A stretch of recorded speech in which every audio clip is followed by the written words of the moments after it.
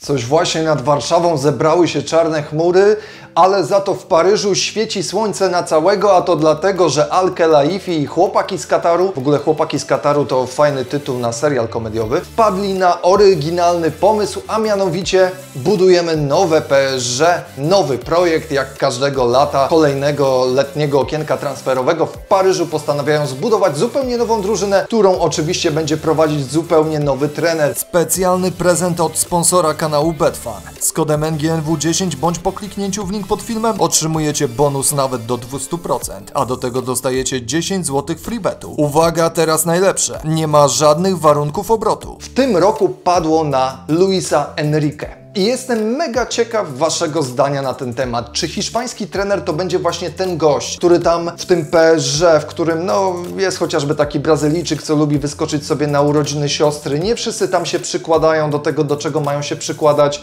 No jest takie gwiazdorzenie. Czy on będzie tą osobą, która przykręci śrubę, stworzy z tego zbitku indywidualności w końcu drużynę, która odniesie sukces w Europie. Dlatego czekam na Wasze komentarze. Ocencie tego nowego trenera PSG, to znaczy on jeszcze nie oficjalnie nie podpisał, ale wszystkie najważniejsze źródła we Francji mówią, że to właśnie Luis Enrique będzie nowym trenerem Paryżan. Dlatego piszcie w komentarzach, co o tym myślicie, a co ja o tym myślę, no to teraz właśnie w tym filmie Wam opowiem. No to jedziemy z tematem, przenosimy się na chwileczkę do Paryża. Marzec 2017 roku Barcelona dokonała niemożliwego. Odrobiła cztery bramki straty z pierwszego meczu z PSG, a nawet więcej, bo wygrała 6-1, zapewniając sobie awans do kolejnej fazy Ligi Mistrzów w 95 minucie meczu po golu Sergiego Roberto. Sześć lat później jeden z głównych bohaterów tamtego spotkania, Luis Enrique, ma zostać nowym dowódcą przeżartej gwiazdorstwem ekipy z Paryża.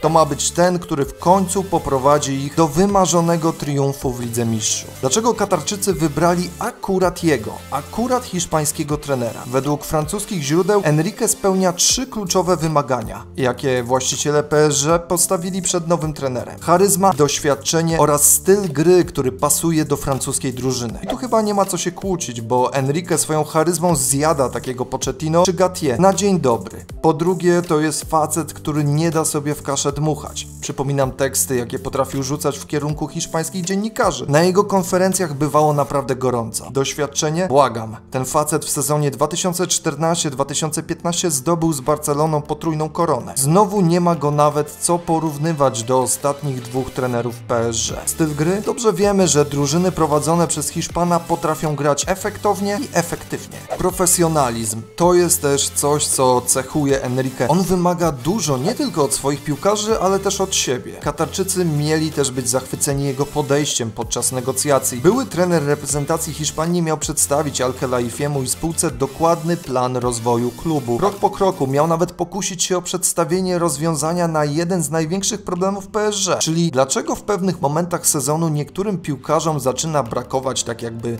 chęci do gry. Bo na tym też właśnie ma polegać misja Enrique w Paryżu. Nie tylko trofea, ale również pobudzenie tej drużyny, wyciągnięcie jej z marazmu, w który potrafi przecież popaść. Hiszpan będzie miał za zadanie zbudować od nowa tożsamość tej ekipy i jej styl na boisku, tak żeby kibice częściej bili brawo niż buczeli, co przecież ostatnimi czasy się zdarzało. Sam Enrique ma mieć też duży wpływ na politykę transferową klubu, dobierać piłkarzy pasujących do swojej wizji. Na razie, jak to w każdym okienku, plotek jest sporo. Według Le Parisien nowa ofensywa PSG ma prezentować się następująco. Po lewej Mbappé, oczywiście, po prawej Bernardo Silva, a na środku jakiś taki topowy napastnik. Coraz głośniej mówi się o tym, że chłopaki z Kataru upadli się na Harego Kane'a. A nie zapominajmy, że od nowego sezonu koszulki paryskiego giganta mają zakładać również Marco Asensio i Kangin Lee z Majorki. A co dalej z Neymarem? No właśnie, zdania we francuskich mediach są podzielone. Jedni twierdzą, że Brazylijczyk po tym jak dowiedział się, że to Enrique będzie nowym trenerem PSG, postanowił pozostać w Paryżu. W końcu to właśnie pod batutą Hiszpana Brazylijczyk miał swój najlepszy okres w karierze. 145 meczów, 90 goli i 68 asyst. Żarło mu to wtedy niesamowicie. I podobno są tacy, którzy wierzą, że to właśnie Enrique będzie w stanie wyciągnąć z Neymara to, co najlepsze. We francuskich mediach jest też jednak wersja, że w Katarze decyzja już zapadła i Brazylijczyk musi odejść, a przyjście Enrique nic w tym temacie nie zmienia. Podobno do odejścia z Paryża też przestał się już palić Marco Verratti.